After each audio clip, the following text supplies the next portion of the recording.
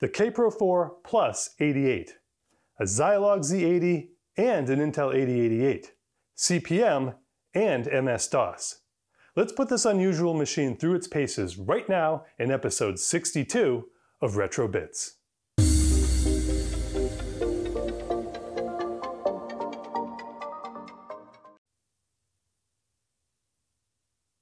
In the last episode, we took a first look at the Kaypro 4 Plus 88 and diagnosed a problem that turned out to be the floppy disk controller.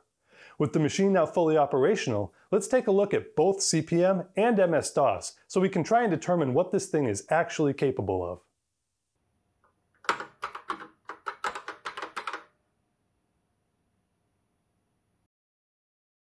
Released in 1974, Control Program Slash Monitor was created by Gary Kildall, the founder of Digital Research Incorporated. One of the very first general purpose operating systems, CP/M was later renamed to Control Program for Microcomputers and became the de facto standard of the day, especially within the business market.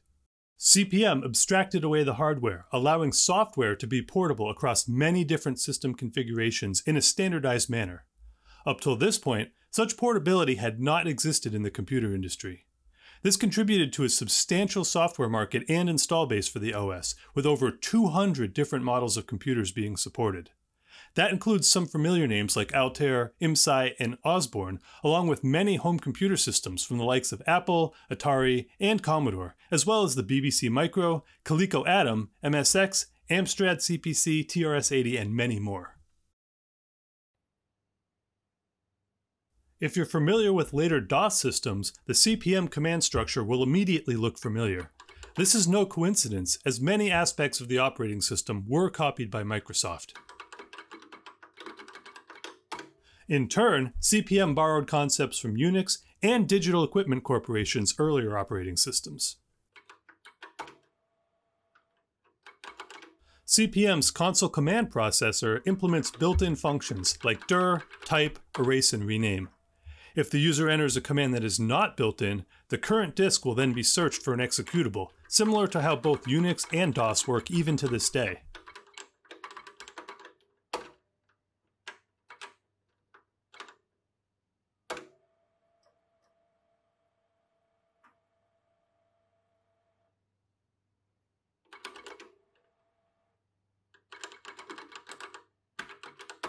CP/M does not support subdirectories, but rather has the concept of separate user areas, up to 16 per disk.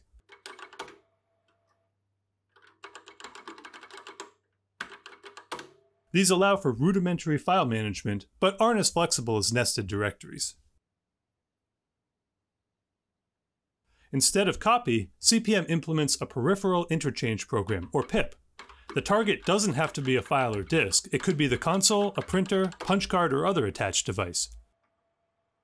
The syntax is in the format of target, the equal sign, and the source. Look familiar? This is the same exact syntax used by Jiffy DOS for file operations on the Commodore 64. I wonder if Mark Fellows was a CP/M user. One thing I found particularly interesting were the line editing and output controls. Take a look.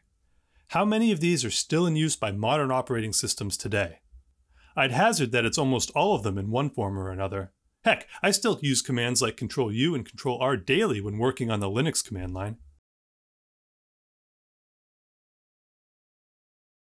While the OS may have abstracted away the hardware to a large degree, one major issue with CP/M was that there were many different incompatible disk formats between manufacturers. This was even a problem amongst the different models of Kaypro machine.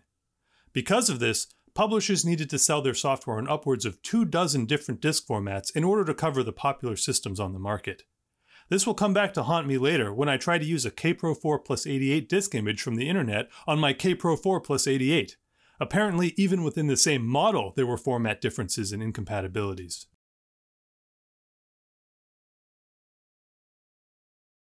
About that, from what I've been able to ascertain, my Kaypro 4 Plus 88 is based on the hardware revision from 1983. What's on the screen is also a 4 Plus 88, but this time a 1984 model. A dead giveaway is the switch from the full height tandem drives on my model to the half height units shown here. Around the back is even more telling. There's a second serial port that's absent on my model, as well as a built-in modem.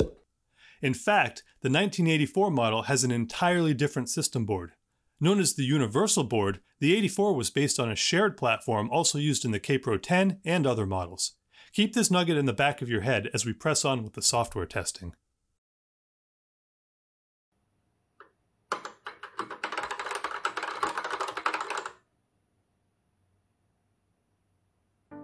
The first application we'll look at is WordStar by Micropro International.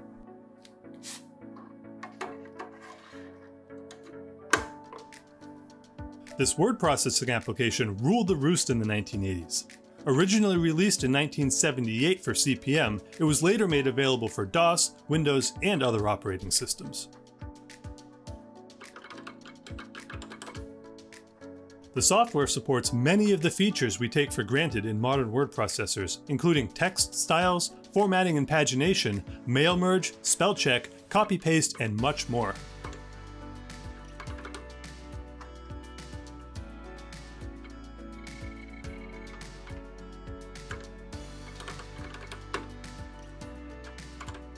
While not true what you see is what you get, WordStar was the first to implement a textual indicator of what styles were applied to the on-screen text. I remember a similar interface in AppleWorks on my family's 2C back in the day, but WordStar was doing it six years earlier.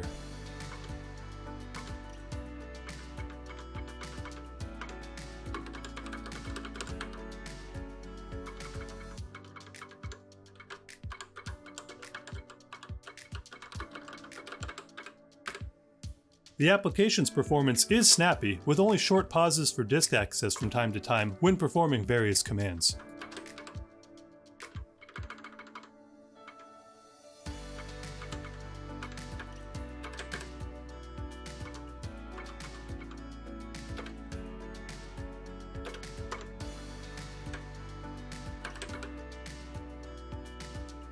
The Kaypro's 9-inch display is crisp and easily readable, unlike some of the other portables of the day.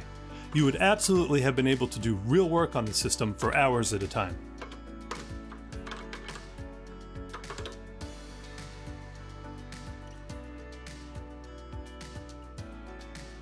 Next up, we have Perfect Calc, one of the bundled productivity titles from Perfect Software.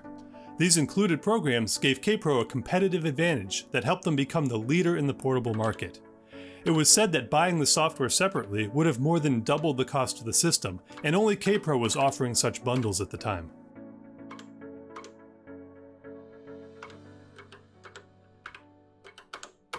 It's neat to revisit these old productivity titles to see just where we started and how far things have come. This spreadsheet works just like you'd expect, and I didn't even have to find a manual to figure out how to input a simple formula. Next up is Borland Turbo Pascal. I did have to find a manual for this one, as I've never programmed in the language before. Also, like the other titles we've looked at, it's only marginally menu driven and you really need to know what the hotkeys are to accomplish anything.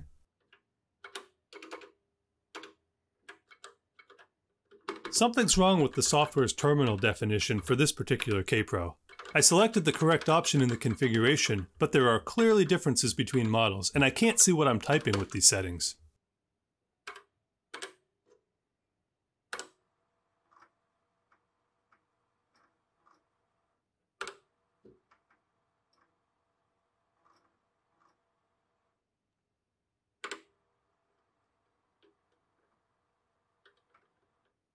My first Pascal program, compiled and fully operational. Are you not impressed? Last, we have BCN, Business Telecommunications Software, for use with Hayes Smart Modem.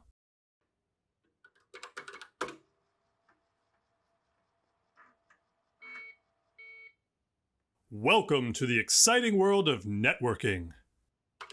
I was hoping I could use this included disk to get online, connect to a BBS, and download some software. Unfortunately, it looks to me like this was some kind of commercial service offering. I've never heard of this one. Did any of you use BCN back in the day? Every option I tried from the menu seemed to require a profile to use. I wonder if BCN was somehow associated with CompuServe. Oh well, it's time to move on and try something else instead.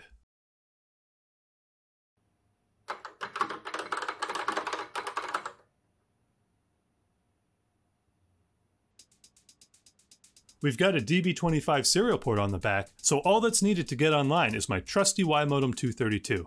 I reviewed this device ages ago, but the TLDR is, if you have old computers, you should get one.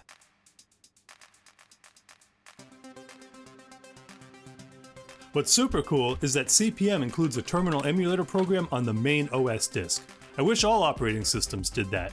It's bare bones, there's no file transfer capability or flow control that I could figure out, so 2400 baud is pushing it. Still, it's a welcome inclusion and getting online with the system is a snap.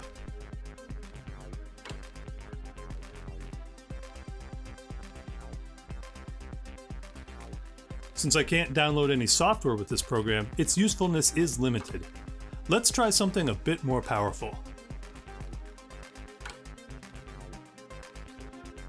In the last episode, I was able to use software called Convert on my Tandy 1000 to move a single file over to a Kaypro formatted floppy. That file was Kermit.com, a popular file transfer tool that's still supported to this day. With a single apt-get command, I was able to install the latest version of Kermit on my home Linux server. With the software running on both ends, transferring files using plain ASCII between any type of disparate system is a snap. You can imagine how useful this would have been back in the day when all the CP/M systems had incompatible disk formats.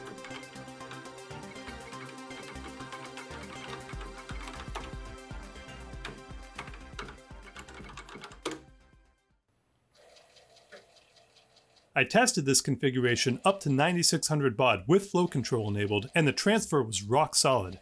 At that rate, it keeps the disk busy pretty much constantly.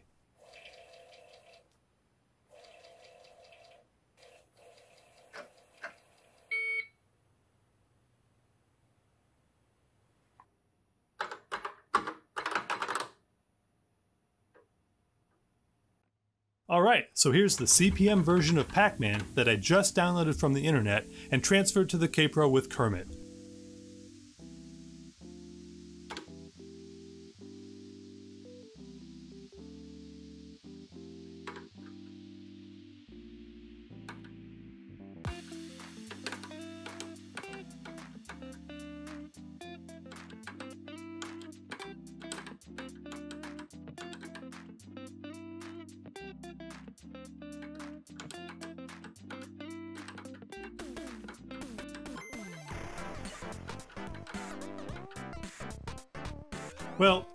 It's recognizable as Pac-Man, I guess. The controls aren't great though. If you don't time your direction changes perfectly, you'll end up at a dead stop staring at the wall. Also, the AI isn't very aggressive, at least on the first level.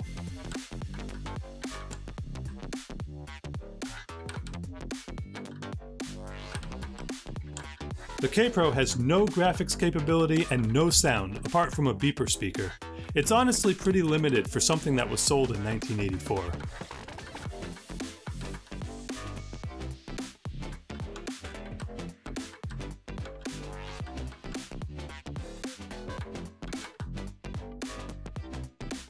The system also comes bundled with Microsoft Basic 80, plus selected games. Let's have a look. This one is called Ladder, if you use your imagination, you can see the resemblance to Donkey Kong.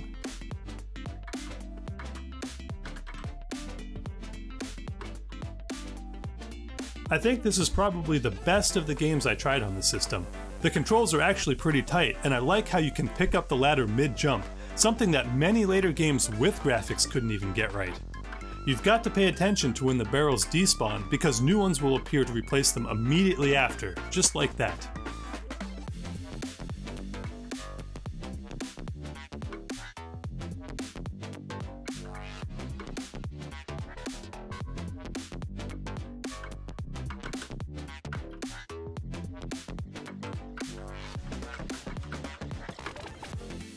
Level 2 is where the game really comes into its own.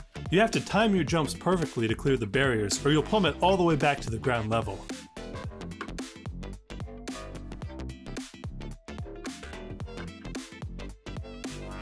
On the whole, this one is pretty good for an ASCII text game. Short though, there are only two stages and then it repeats at a harder difficulty.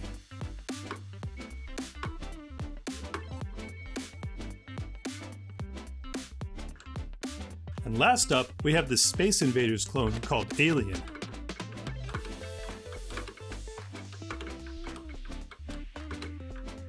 Okay, so yeah, this is a business oriented machine, and video games aren't its strong suit. I'm sure it was fine for a small diversion now and then when the boss wasn't looking, though.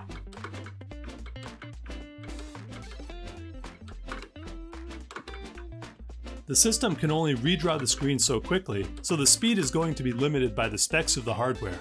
As in the original arcade game, the pace does pick up slightly at the end simply because there are fewer aliens to render.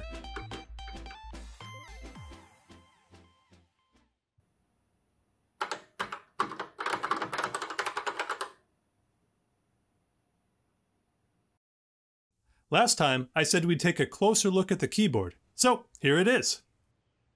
The unit itself is quite the chonker, but it would have to be in order to support the entire 26 pounds of the portable-ish Kaypro. As a result of the large sheet metal housing required for this feat, it does sound a bit hollow when typing.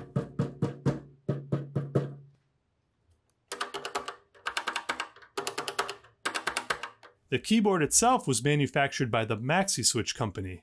The ergonomics are good, and the layout is surprisingly modern, with Control, Caps Lock, Shift, Tab, Return, and Backspace positioned more or less where you'd expect them to be. Key travel is fairly long, and it feels good to type on.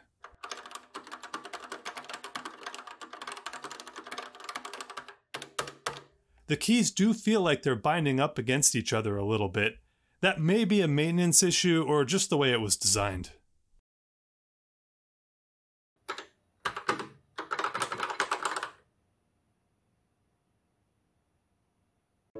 Commodores? What? Well, I thought it would be fun to compare the Kaypro to the SX64, which came to market around the same time as the 4 Plus 88, and up till now has been my measuring stick for a luggable machine. I still contend that the SX is large and heavy, but as you can see the Kaypro dwarfs it at almost double the height. Surprisingly, the larger machine weighs only 3 pounds more, but it's mostly empty inside. True to its purpose as a business machine, the 9-inch monochrome screen is much easier to read than the Commodore's 5-inch color display, and could easily be used for work or at home for hours on end. The Commodore has way better games and a more pleasing aesthetic, although that, of course, is a personal opinion. Another thing I wanted to try was interoperability with the Commodore 128, which was designed to run CP/M. Let's test with the Kaypro's bundled version of WordStar. Look at the bottom of the screen. The 128 recognized the disk as a Kaypro 4 format, the Commodore version of CP/M is able to understand nine different popular formats from systems such as Kaypro, Osborne, Epson, and IBM. And look at that, it just works! That's the famous CP/M portability I was talking about. One thing to note is that the Commodore is much slower than the Kaypro. Disk access is reasonable, but screen updates with the 80 column VDC chip are notoriously slow.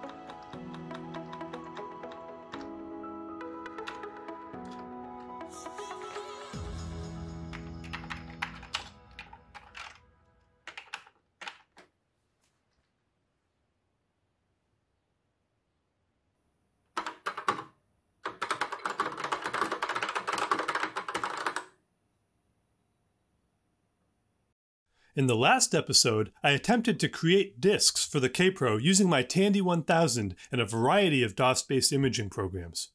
I was able to copy single files to existing floppies, but I had no luck writing entire disk images due to incompatibilities with the Tandy's drive controller.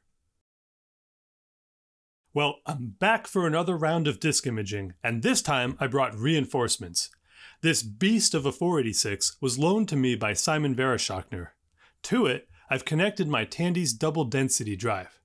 High density drives like the one in this 486 spin at a higher RPM, making them difficult to use when imaging disks for older systems like the Kaypro.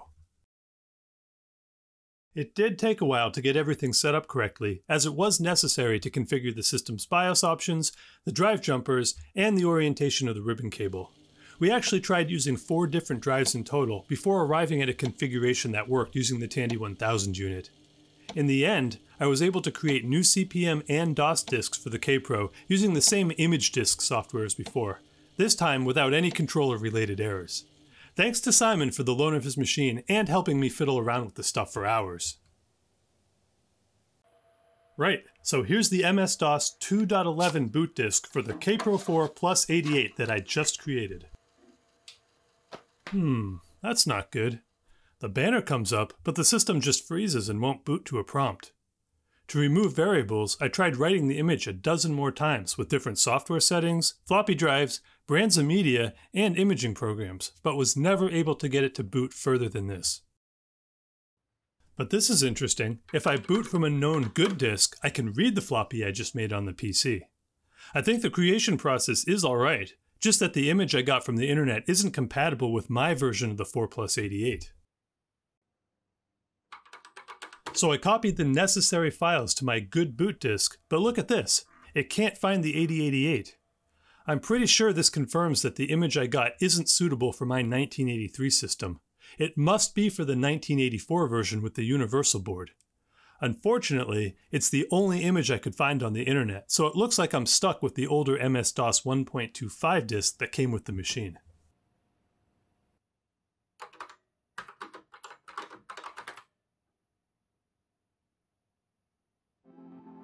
While MS-DOS 2.11 didn't work, there is another program on the disk I want to try, the RamDisk software. It allows CP/M to utilize the 8088's 256K of memory as a high-speed drive. Unfortunately, when I ran the software, it just locked up and didn't do anything. I was able to locate a copy of the SWP CoPower manual for a Zorba CP/M machine, and in it, I found the valid address ranges the adapter board can be configured to, so I tried them all. The first 14 I tried resulted in the same lockup, but on the 15th attempt, success! From what I've read, the CoPower hardware address is programmed into the PAL chip on the adapter board at the factory, and is then coded into the software that originally shipped with the machine. Since this MS-DOS image is for a different system, my guess is the default address is different from my board. That's probably also why the DOS connector didn't work. Right, let's benchmark this thing. Here's WordStar loading from floppy once again.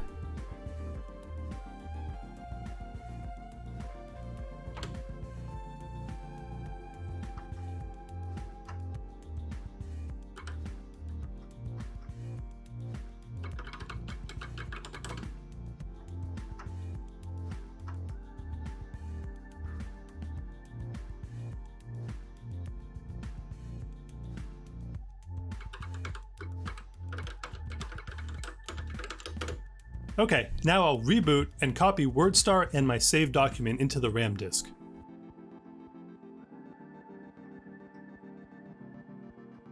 The time to beat is 19 seconds.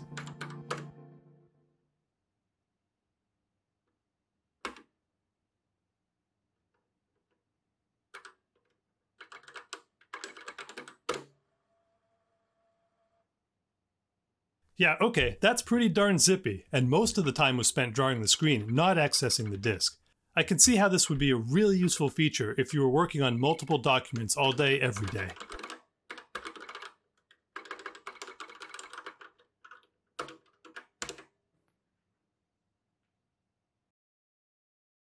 If you were going to do this every day, you'd want some sort of automation around the process, and the manual is helpful here as well. Using a submit file, the CP/M equivalent to a DOS batch file or a Unix shell script, you can automatically populate the RAM disk, load WordStar, and copy your document files back to permanent storage when you exit the program. Neat!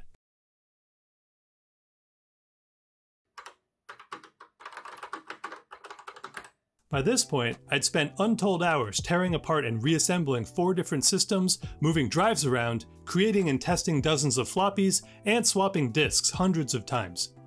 I finally tired of this unreliable process and decided to try using a Gotek drive running the flash floppy firmware. Using a PC floppy cable, the edge connector goes to the existing drive B and the pin header end after the twist is connected to the Gotek. To make it show up as drive A, I needed to set the drive select 1 jumper instead of 0, which is then flipped by the cable. This Gotek drive was donated to the channel by Kevin Gonzalez, so thanks Kevin for this very useful piece of kit.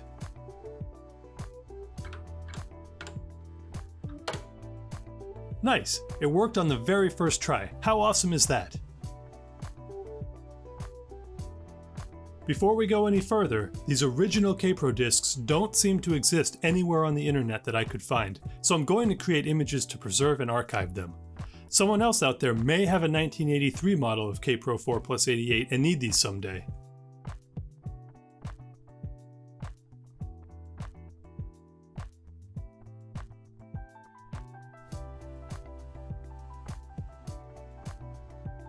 That done, I needed to convert the image disk format into something that'll work with the flash floppy firmware. For this, I used the HXC floppy emulator software. The converted files get loaded on the USB stick and that's it. No other configuration is necessary, as the Kaypro uses the standard Shugart interface, which is the default mode of operation for the Gotek. Let's try that MS-DOS 2.11 image again, this time with the Gotek instead of a physical floppy. And we get the exact same error as before. This gives me even more confidence that my disk creation process was, in fact, good, and that it's the image itself that just doesn't work on my hardware. Since the DOS 2.11 disk still doesn't work, let's try version 1.25 that came with the machine. It should be hard-coded to work with my CoPower adapter, unlike the copy I got from the internet. While the RAM disk software was configurable, there doesn't seem to be any such option to set the address used by the DOS connector, short of decompiling the binary.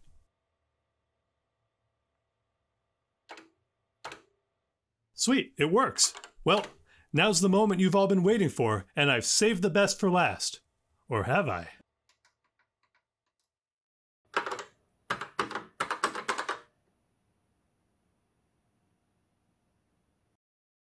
First, we'll need some software. When creating disks for DOS 1.x on a newer system, it's necessary to use the slash 8 option to specify 8 sectors per track. Now, I'll copy over a variety of text-only applications and games, starting with the useful Checkit diagnostic tool.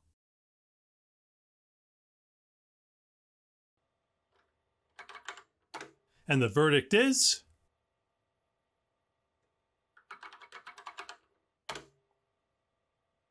Nothing. The machine locked up.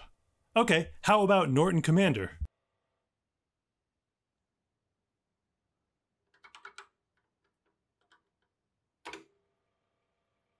Denied. How about VisiCalc? Another crash. Here's the thing. The CoPower 88 isn't IBM PC compatible. It's only DOS compatible. Anything that tries to access the PC's hardware simply won't work, there's no ISA, no MDA, CGA, or Hercules graphics, no 8250 UART, no PC speaker, no PC architecture of any kind, just ASCII text. The manual even goes so far as to say you need to find software that is non-hardware dependent, or perhaps just write your own program. Gee, what fun! Not exactly selling the product, guys. WordPerfect Lite? Nope. Amaze? Crash? Beast? Same. Castle Adventure? Called on account of rain. Thank goodness for the Gotek drive though, after every crash it requires three disk changes to test out another program. I must have swapped real disks several hundred times before moving to this method. How about Galaxy? Ooh, this is new. PackGal? I see a trend. Planetfall? Ejected back to DOS. Look, DOS 1.25 is so old, many of these programs may just not work under the best of conditions. That's why I wanted to get 2.11 working. Another issue is lack of available memory. Either way, I wasn't able to get a single text-based DOS program to work on the Kaypro. So those were my real-world findings with MS-DOS 1.25 on the Kaypro 4 plus 88. Let's see how my experience compares to that of Computer and Electronics magazine from March of 1984. The Kaypro 4 Plus 88, although an IBM PC compatible machine, is limited in many ways.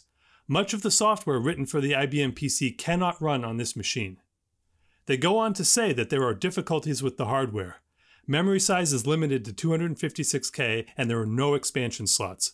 The finer things of computing, such as graphics and color, won't be available on the 4 Plus 88.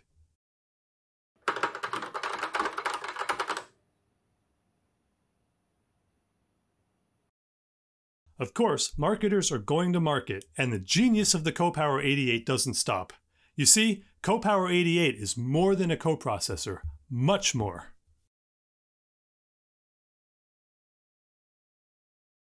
By the time the Kaypro 4 Plus 88 came to market, it was already part of a dying breed.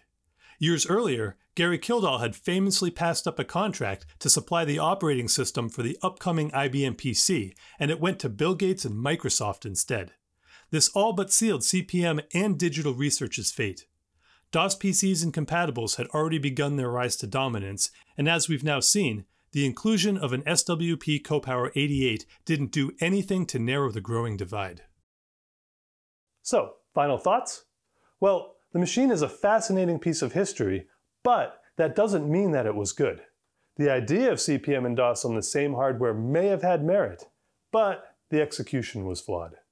Regardless, I enjoyed learning all about this Kaypro and I hope you did as well. Thank you so much for watching and we'll see you next time on RetroBits.